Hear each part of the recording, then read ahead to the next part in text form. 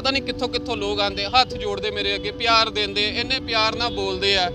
ਪੰਜਾਬੀ ਭਈਏ ਬਾਹਰੋਂ ਆ ਕੇ ਮੇਰੇ ਕੋ ਆਂਦੇ ਆ ਹਰ ਕੋਈ ਆ ਕੇ ਮੈਨੂੰ ਪਿਆਰ ਨਾਲ ਬੋਲਦਾ ਇੱਜ਼ਤ ਮਿਲਦੀ ਆ। ਮਗਰ ਇਹ ਜਿਹੜੀ ਇਹ ਜਿਹੜੀ ਜਦੋਂ ਇਹ ਚੀਜ਼ ਆਂਦੀ ਹੈ ਨਾ ਤੇ ਬਸ ਇੱਕੋ ਧਮਕੀ ਹੁੰਦੀ ਆ ਕਿ ਤੇਰੀ ਰੇੜੀ ਚੁਕਾ ਦੇਣੀ ਆ। ਪ੍ਰੋਬਲਮ ਕੀ ਹੈ ਤੁਹਾਡੀ ਰੇੜੀ? ਦੀ? ਮੈਨੂੰ ਆਪ ਨਹੀਂ ਪਤਾ ਭਾਜੀ ਮੈਨੂੰ ਪਤਾ ਹੋਵੇ ਤਾਂ ਮੈਂ ਦੱਸਾਂ ਮੈਨੂੰ ਅੱਜ ਤੱਕ ਮੈਂ ਇਹੀ ਚੀਜ਼ ਤੋਂ ਕੰਫਿਊਜ਼ ਹਾਂ ਮੇਰੀ ਰੇੜੀ ਤੋਂ ਪ੍ਰੋਬਲਮ ਕੀ ਆ?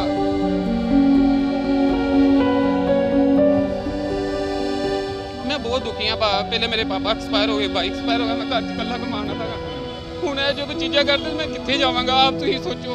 ਪੰਜਾਬੀ ਪੰਜਾਬ 'ਚ ਰਹਿ ਕੇ ਖੁਸ਼ ਨਹੀਂ ਕਰਦੇ ਕਿੱਥੇ ਜਾਏ ਪੰਜਾਬੀ? ਪੰਜਾਬੀ ਤਾਂ ਅੱਗੇ ਬਾਹਰ ਜਾਊ ਭਾਜੀ ਹਾਂਜੀ ਭਾਜੀ ਕੀ ਨਾਮ ਆ ਜੀ ਆਪਣਾ? ਜੀ ਮੇਰਾ ਨਾਮ ਪਵਨ ਕੁਮਾਰ ਹੈ ਤੇ ਕਿੰਨੇ ਸਮੇਂ ਤੋਂ ਤੁਸੀਂ ਇੱਥੇ ਆਪਣੀ ਰੇੜੀ ਲਗਾ ਰਹੇ ਹੋ? ਮੈਂ 15 ਸਾਲ ਤੋਂ ਲਗਾ ਰਿਹਾ ਕਿੱਥੇ ਭਾਜੀ। ਰੇੜੀ ਲਗਾਉਂਦੇ ਹੋ? ਮੈਂ ਇੱਥੇ ਹੀ ਲਗਾ ਰਿਹਾ ਵੇਖੋ ਸਾਈਡ ਤੇ ਲੱਗੀ ਰੇੜੀ ਹਾਂਜੀ। ਤੇ ਰੋਜ਼ ਆ ਚਾਰ ਪੰਜ ਦਿਨ ਤੋਂ ਕੁਝ ਜ਼ਿਆਦਾ ਹੀ ਤੰਗ ਕਰਦਾ ਕਹਿੰਦਾ ਰੇੜੀ ਚੁੱਕ ਕੇ ਲਿਆਈਆ ਰੇੜੀ ਚੁੱਕ ਕੇ ਲਿਆਈਆ ਮੈਂ ਉਹਨਾਂ ਨੂੰ ਇੱਕ ਦੋ ਵਾਰੀ ਵੀ ਕਿਹਾ ਇੱਥੋਂ ਟੈਂਕਰ ਲੱਗਦੇ ਪਾਣੀ ਦੇ ਤੇ ਮੈਨੂੰ ਕਹਿੰਦੇ ਥੋੜੀ ਅੱਗੇ ਲਗਾਇਆ ਕਰ ਸਰਕਾਰੀ ਆਂਦੇ ਉਹਨਾਂ ਨੂੰ ਕਿਸੇ ਨੂੰ ਕੋਈ ਆਬਜੈਕਸ਼ਨ ਨਹੀਂ ਹੈਗਾ ਪਾਣੀ ਭਰਨ ਵਾਲੇ ਸਰਕਾਰੀ ਮੁਲਾਜ਼ਮ ਵੀ ਆਂਦੇ ਕਾਰਪੋਰੇਸ਼ਨ ਵਾਲੇ ਨੂੰ ਆਂਦੇ ਉਹ ਕਹਿੰਦਾ ਉਹ ਤੂੰ ਉੱਥੇ ਪਿੱਛੇ ਲਈਆ ਉਹਨੂੰ ਇੱਥੇ ਤੇਰੀ ਮੈਂ ਲਾਣੀ ਨਹੀਂ ਦੇਣੀ ਕਹਿੰਦਾ ਅੱਜ ਰੇੜੀ ਅੱਛਾ। ਤੇ ਭਾਜੀ ਉਹ ਇੰਨਾ ਸਮਾਨ ਬਣਿਆ ਮੈਂ ਕਿੱਥੇ ਲੈ ਕੇ ਜਾਵਾਂ। ਮੈਂ ਵੀ ਸਵੇਰ ਦਾ 4 ਵਜੇ ਤੋਂ ਉੱਠ ਕੇ ਕੰਮ ਕਰਦਾ ਪਿਆ। 15 ਸਾਲ ਤੋਂ ਤੁਸੀਂ ਇੱਥੇ ਰੇੜੀ ਲਗਾ ਰਹੇ ਹੋ। ਕੀ ਹਾਂਜੀ। ਪਹਿਲਾਂ ਇਸ ਤਰ੍ਹਾਂ ਦਾ ਟ੍ਰੈਫਿਕ ਪੁਲਿਸ ਮੁਲਾਜ਼ਮਾਂ ਦੇ ਵੱਲੋਂ ਆ ਕੇ ਤੰਗ ਕੀਤਾ ਜਾਂਦਾ ਸੀ ਤੁਹਾਨੂੰ? ਹਾਂਜੀ ਕੀਤਾ ਜਾਂਦਾ ਸੀ। ਜਦੋਂ ਨਵਾਂ ਕੋਈ ਆ ਗਿਆ ਏਐਸਆਈ ਆ ਗਿਆ ਤਾਂ ਇਹਨੂੰ ਰੇੜੀ ਚੁੱਕ ਲਾ। ਜਦੋਂ ਵੀ ਆਦਾ ਬਦਤਮੀਜੀ ਨਾਲ। ਇੰਨੀ ਦੁਨੀਆ ਆਂਦੀ ਮੇਰੇ ਕੋ ਪਤਾ ਨਹੀਂ ਕਿੱਥੋਂ ਕਿੱਥੋਂ ਲੋਕ ਆਂਦੇ ਹੱਥ ਜੋੜਦੇ ਮੇਰੇ ਅੱਗੇ ਪਿਆਰ ਦਿੰਦੇ ਇੰਨੇ ਪਿਆਰ ਨਾਲ ਬੋਲਦੇ ਆ।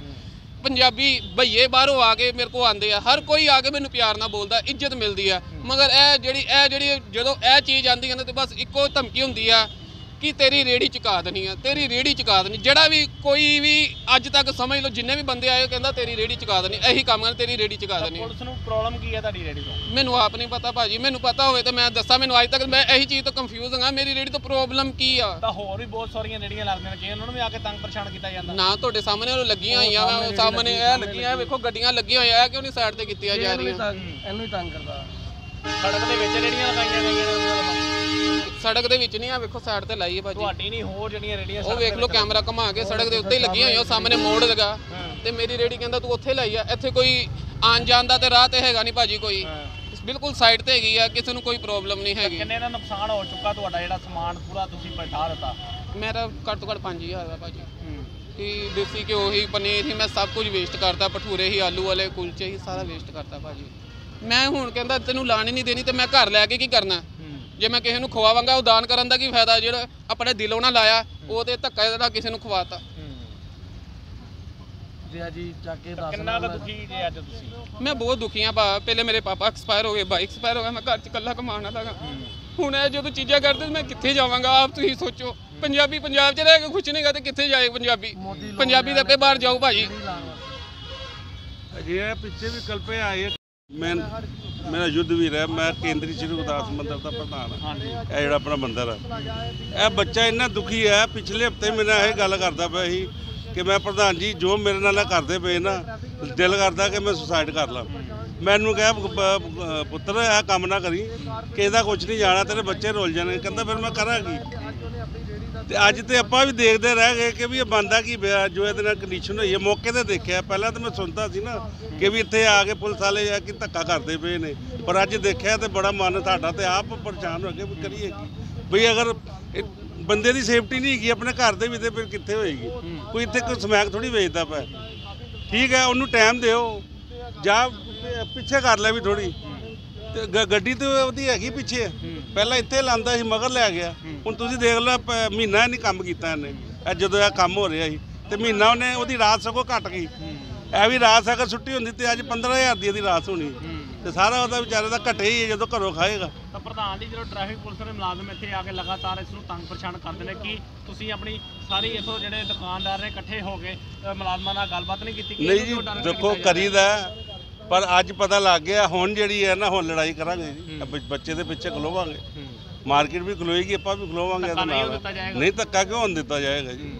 ਇਦਾਂ ਤੇ ਫਿਰ ਕੀ ਕਹਿੰਦੇ ਜਦੋਂ ਆਪਣੇ ਸ਼ਹਿਰ ਦੇ ਵਿੱਚ ਰਹਿ ਕੇ ਨਹੀਂ ਆਪਾਂ ਰੋਟੀ ਕਮਾ ਸਕਦੇ ਤਾਂ ਫਿਰ ਕਿ- ਕਿੱਥੇ ਜਾਵਾਂਗੇ? ਬਕਾਇਦਾ ਉਹਨੇ ਉਹਦੀ ਪਰਚੀ ਹੈਗੀ ਹੈ ਫਿਰ ਉਹਨੂੰ ਮੋਦੀ ਦਾ ਲੋਨ ਮਿਲਿਆ ਉਹਦਾ ਵੀ ਉਹਨੂੰ ਮਿਲਿਆ ਉਹ ਕੀ ਕਹਿੰਦੇ ਨੰਬਰ ਮਿਲਿਆ। ਤੇ ਮਗਰ ਜਿਹੜੀ ਲੱਗੀ ਵੇਖੋ ਉਹਦਾ ਹੀ ਮੋਦੀ ਦਾ ਲੋਨ ਪਾਸ ਕੀਤਾ। ਤੇ ਫਿਰ ਕਿੱਥੇ ਲਾਏਗਾ ਕੋਈ ਬੰਦਾ? ਤੁਸੀਂ ਇਹ ਮੋੜ ਮੋੜ ਲਓ ਪਿੰਕ ਪਲਾਇਆ ਤੇ ਲੰਘਿਆ ਨਹੀਂ ਜਾਂਦਾ ਵਿਚਕਾਰੋਂ। ਉਹਨੂੰ ਉਹ ਨਹੀਂ ਦੇਖਦਾ ਪਿਆ ਵੀ ਇੱਥੇ ਕਿਹੜਾ ਟ੍ਰੈਫਿਕ ਹੈਗਾ। ਆ ਗੱਡੀਆਂ ਵੇਖੋ। ਇਹ ਗੱਡੀਆਂ ਵੇਖ ਲਓ ਇੱਥੋਂ ਤੱਕ ਉਹ ਗੱਡੀਆਂ ਲੱਗੀਆਂ ਮਤਲਬ ਨਹੀਂ ਨਹੀਂ ਹੈਗਾ ਤੇ ਕੀ ਕੀ ਕਰੋਗੇ ਆਪਾਂ ਤੇ ਇਹੀ ਕਹਿੰਦੇ ਆ ਵੀ ਤੁਹਾਡੇ ਕਹਿੰਦੇ ਤੁਸੀਂ ਵੀ ਪ੍ਰਸ਼ਾਸਨ ਕੋਲ ਸਾਡੀ ਆਵਾਜ਼ ਪਹੁੰਚਾਓ ਵੀ ਧੱਕਾ ਨਾ ਹੋਣਾ ਚਾਹੀਦਾ ਕਿਸੇ ਨਾਲ ਇੱਕ ਰੇੜੀ ਵਾਲੇ ਦੇ ਵੱਲੋਂ ਆਪਣੀ ਰੇੜੀ ਜਿਹੜੀ ਪਲਟਾ ਦਿੱਤੀ ਗਈ ਆ। ਦੇਖੋ, ਪਤਾ ਨਹੀਂ ਕਿਉਂ ਉਹਦੇ ਮਨ 'ਚ ਗੁੱਸਾ ਹੋ ਕੋ ਗੱਲ ਦਾ ਵਾ। ਜਿੱਦਾਂ ਮਾਨਯੋਗ ਸੀਪੀ ਸਾਹਿਬ ਦੇ ਦਿਸ਼ਾ ਨਿਰਦੇਸ਼ ਮੁਤਾਬਕ ਮੈਡਮ ਡੀਸੀਪੀ ਟ੍ਰੈਫਿਕ ਦੇ ਦਿਸ਼ਾ ਨਿਰਦੇਸ਼ ਮੁਤਾਬਕ ਜਿਹੜੀਆਂ ਰੋਡ ਨੇ, ਨਵੇਂ ਬਣੇ ਨੇ, ਉਹਨਾਂ ਦੇ ਉੱਤੇ ਬਹੁਤ ਜ਼ਿਆਦੀਆਂ ਰੇੜੀਆਂ ਵਾਲੇ ਨੇ ਲਿਆਣ ਕੇ ਰੇੜੀਆਂ ਲਾਤੀਆਂ ਵਾ, ਜਿਨ੍ਹਾਂ ਨੂੰ ਅਸੀਂ ਅਨਾਉਂਸਮੈਂਟ ਕਰਕੇ ਕਹਿੰਦੇ ਆ ਕਿ ਭਈ ਆਪਣੀ ਰੇੜੀ ਜਿਹੜੀ ਆ ਉਹ ਕਿਸੇ ਉਸ ਜਗ੍ਹਾ ਤੇ ਲਗਾਓ, ਜਿੱਥੇ ਜਗ੍ਹਾ ਤੇ ਕਿਸੇ ਪਬਲਿਕ ਨੂੰ ਟ੍ਰੈਫਿਕ ਨੂੰ ਕੋਈ ਸਮੱਸਿਆ ਨਾ ਆਵੇ। ਇਸ ਕਰਕੇ ਰੋਜ਼ ਦੀ ਤਰ੍ਹਾਂ ਜਿੱਦਾਂ ਅਸੀਂ ਅਨਾਉਂਸਮੈਂਟ ਕਰਦੇ ਆ ਜਾਂ ਉਹਨਾਂ ਨੂੰ ਕਹਿੰਦੇ ਆ ਵੀ ਜਿਹੜੀਆਂ ਰੇੜੀਆਂ ਵਾ ਪਿੱਛੇ ਕਰ ਲਓ ਜਿਹੜੀਆਂ ਫਰੂਟ ਵਾਲੀਆਂ ਰੇੜੀਆਂ ਉਹ ਵੀ ਲੈ ਲੂ ਚਲੇ ਜਾਂਦੇ ਨੇ। ਹਰ ਰੇੜੀ ਦਾ ਹਰ ਥਾਂ ਤੇ ਹਰ ਜਗ੍ਹਾ ਤੇ ਬਾਜ਼ਾਰ 'ਚ ਵੀ ਅਨਾਉਂਸਮੈਂਟ ਕਰਦੇ ਆ। ਤੇ ਰੇੜੀਆਂ ਜਿਹੜੀਆਂ ਲਾ ਕੇ ਤੇ ਟ੍ਰੈਫਿਕ ਨੂੰ ਜਾਮ ਹੁੰਦੀਆਂ। ਇਸ ਕਰਕੇ ਪਤਾ ਨਹੀਂ ਉਹ ਕੋਈ ਆਪਣਾ ਦਿਮਾਗੀ ਤੌਰ ਤੇ ਕੋਈ ਉਹਦੇ ਮਨ 'ਚ ਹੋਊਗੀ ਕਿਸੇ ਤਰੀਕੇ ਨਾਲ। ਜੋ ਉਹਨਾਂ ਨੂੰ ਕਿਹਾ ਵੀ ਆ ਜਿਹੜਾ ਫਾਇਰ ਬ੍ਰਿਗੇਡ ਪਾਣੀ ਭਰਨ ਆਉਂਦਾ ਵਾ ਇਹਦੇ ਥੱਲੇ ਗੱਡੀਆਂ ਲਾ ਦਿੱਤੀਆਂ ਵਾ ਤੁਹਾਡੀ ਗੱਡੀ ਰੇੜੀ ਕਰਕੇ ਤੁਸੀਂ ਰੇੜੀ ਨੂੰ ਥੋੜਾ ਪਿੱਛੇ ਫੁੱਟਪਾਥ ਤੇ ਕਰਕੇ ਲਾ ਲਓ। ਨਾ ਕਿ ਫੁੱਟਪਾਥ ਤੇ ਕਰਨ ਦੀ ਬਜਾਏ ਉਹਨੇ ਪਤਾ ਨਹੀਂ ਸਮਾਨ ਸਮੂਨ ਡੋਲ ਲਿਆ ਆਪਣਾ। ਇਸ ਕਰਕੇ ਉਹਦੇ ਬਾਰੇ ਹੁਣ ਕੀ ਕਹਿ ਸਕਦੇ ਉਹਦੀ ਮਾਨਸਿਕਤਾ ਵਾ ਇਦਾਂ ਨਹੀਂ ਕਰਨਾ ਚਾਹੀਦਾ ਉਹਨੂੰ। ਪਿਛਾਂ ਕਰਕੇ ਲਾ ਲੇ। ਜਿੱਥੇ ਉਹ ਕਹਿੰਦਾ ਵਾ ਫੁੱਟਪਾਥ ਪਿੱਛੇ ਹੈਗਾ ਇੱਕ ਰੇੜੀ ਲੱਗੀ ਆ। ਉਹਨਾਂ ਨੂੰ ਕਿਹਾ ਵੀ ਆ ਫੁੱਟਪਾਥ ਦੇ ਪਿੱਛੇ ਚਲਾ ਲਓ। ਤੇ ਪਰ ਜਿਹੜੇ ਉੱਥੋਂ ਮੰਦਿਰ ਦੇ ਪ੍ਰਧਾਨ ਨੇ ਉਹ ਕਹਿੰਦੇ ਨੇ ਕਿ ਟ੍ਰੈਫਿਕ ਪੁਲਿਸ ਦੇ ਮੁਲਾਜ਼ਮਾਂ ਨੂੰ ਇਹਦੀ ਰੇੜੀ ਦਿਖਾਈ ਦਿੰਦੀ ਆ ਪਰ ਪਿੰਕ ਪਲਾਜ਼ਾ ਦੇ ਵਿੱਚ ਇੰਨੀਆਂ ਰੇੜੀਆਂ ਇੰਨੀਆਂ ਜਿਹੜੀਆਂ ਦੁਕਾਨਦਾਰਾਂ ਦੇ ਵੱਲੋਂ ਬਾਹਰ ਜਿਹੜੇ ਕਬਜ਼ੇ ਤੱਕ ਕਰ ਦਿੱਤੇ ਗਏ ਨੇ ਪਿੰਕ ਪਲਾਜ਼ਾ ਦੇ ਵਿੱਚੋਂ ਨਿਕਲਣਾ ਮੁਸ਼ਕਲ ਹੋ ਚੁੱਕਾ। ਪਰ ਟ੍ਰੈਫਿਕ ਪੁਲਿਸ ਮੁਲਾਜ਼ਮਾਂ ਦੇ ਵੱਲੋਂ ਉਹਨਾਂ ਦੇ ਉੱਪਰ ਕੋਈ ਕਾਰਵਾਈ ਨਹੀਂ ਕੀਤੀ ਜਾਂਦੀ ਪਰ ਇਹਨੂੰ ਆ ਕੇ ਤੰਗ ਪਰੇਸ਼ਾਨ ਕੀਤਾ ਨਹੀਂ ਨਹੀਂ ਇੱਕ ਟਾਰਗੇਟ ਨਹੀਂ ਹੈਗਾ ਜੀ ਸਾਡਾ। ਕੋਈ ਵੀ ਇਕੱਲਾ ਬੰਦਾ ਸਾਡਾ ਕੋਈ ਨਹੀਂਗਾ ਅਸੀਂ ਸਾਰੇ ਸ਼ਹਿਰ ਨੂੰ ਕਰਾਉਂਦੇ ਆ ਸਫ਼ਾਈ। ਪਿੰਕ ਪਲਾਜ਼ੇ ਦੇ ਵਿੱਚ ਵੀ ਜਾਂਦੇ ਆ। ਮੈਂ ਪਲੀਅਰ ਗਿਆ ਮੈਂ ਗੱਡੀ ਲੈ ਕੇ। ਮੈਂ ਬਹੁਤ ਵਾਰ ਖਾਲੀ ਕਰਾਇਆ ਪਿੰਕ ਪਲਾਜ਼ੇ ਦੀਆਂ ਦੁਕਾਨਾਂ ਵੀ ਖਾਲੀ ਕਰਾਈਆਂ ਵਾ। ਰੇੜੀਆਂ ਵੀ ਕਰਾਈਆਂ। ਉਹਨਾਂ ਨੂੰ ਕਿਹਾ ਜਿਹੜੀ ਪਾਰਕ ਬਣੀ ਅੰਦਰ ਉੱਚ ਲਾ ਲਓ। ਨੋ ਪ੍ਰੋਬਲਮ ਇਹ 'ਚ ਸਾਨੂੰ ਕੋਈ ਇਸ਼ਾਰਾ ਹੈਗਾ। ਇਹ ਨਗਰ ਨਿਗਮ ਦਾ ਕੰਮ ਆ। ਪਰ ਲੱਗਦਾ। ਦੁਕਾਨਦਾਰ ਜਾਂ ਫਿਰ ਰੇੜੀਆਂ ਵਾਲੇ ਟ੍ਰੈਫਿਕ ਪੁਲਿਸ ਮੁਲਾਜ਼ਮਾਂ ਦੀ ਗੱਲ ਨਹੀਂ ਸੁਣਦੇ। ਦੇਖੋ ਪਤਾ ਕਾਰਨ ਕੀ ਹੈ ਜੀ? ਦੇਖੋ ਇੱਕ ਫਿਤਰਤ ਬਣ ਗਈ ਹੈ ਲੋਕਾਂ ਦੀ ਵੀ ਜਿਹੜਾ ਬੰਦਾ ਕੰਮ ਕਰਦਾ ਨਾ ਉਹਨੂੰ ਕੰਮ ਨਹੀਂ ਕਰਨ ਦੇਣਾ। ਇਸ ਕਰਕੇ ਸਾਡਾ ਮਤਲਬ ਹੈ ਉਸ ਟ੍ਰੈਫਿਕ ਨਾਲ। ਅਸੀਂ ਚਾਹੁੰਦੇ ਹਾਂ ਵੀ ਸਾਰੇ ਅੰਮ੍ਰਿਤਸਰ ਦੀ ਟ੍ਰੈਫਿਕ ਵਧੀਆ ਤਰੀਕੇ ਨਾਲ ਚੱਲੇ ਕਿਸੇ ਨੂੰ ਪਰੇਸ਼ਾਨੀ ਨਾ। ਅਗਰ ਕਿਤੇ ਅੱਗ ਲੱਗ ਜੇ ਜਾਂ ਕੋਈ ਗੱਲਬਾਤ ਹੋ ਜੇ ਉਸ ਜਗ੍ਹਾ ਦੇ ਥੱਲੇ ਜਿਹੜਾ ਉਹ ਪਾਣੀ ਭਰਦੇ ਆ ਉੱਥੇ ਟਰੱਕ ਨਾ ਲੱਗੇ ਅੱਧਾ ਘੰਟਾ ਤੇ ਫਿਰ ਬੜੀ ਤਕੜੀ ਸਮੱਸਿਆ। ਵਾ ਸਾਡਾ ਫਰਜ਼ ਬਣਦਾ ਉਹਨੂੰ ਖਾਲੀ ਰਖਾਉਣਾ। ਬੜੇ ਵਾਰ ਕਾਰਪੋਰੇਸ਼ਨ ਨੇ ਕਿਹਾ ਵਾ ਮੈਂ ਖਾਲੀ ਕਰਾ ਕੇ ਕਹਿੰਦਾ ਮੈਂ ਅਨਾਉਂਸਮੈਂਟ ਕਰਦਾ ਇਹਦੇ ਥੱਲੇ ਗੱਡੀ ਨਾ ਲਾਇਆ ਕਰੋ। ਇਸ ਕਰਕੇ ਇਹ ਆ ਕਿ ਉਹ ਆਪਣੇ ਤੌਰ ਤੇ ਕੋਈ ਮਾਨਸਿਕ ਤੌਰ ਤੇ ਹੋ ਸਕਦਾ। ਸਾਡੀ ਕੋਈ ਨਿੱਜੀ ਰਜਿਸਟਰ ਕਿਸੇ ਨਾਲ ਨਹੀਂ ਹੈਗੀ ਨਾ ਉਹਦੇ ਨਾਲ ਕੋਈ ਵਰਤੋਂ ਆ।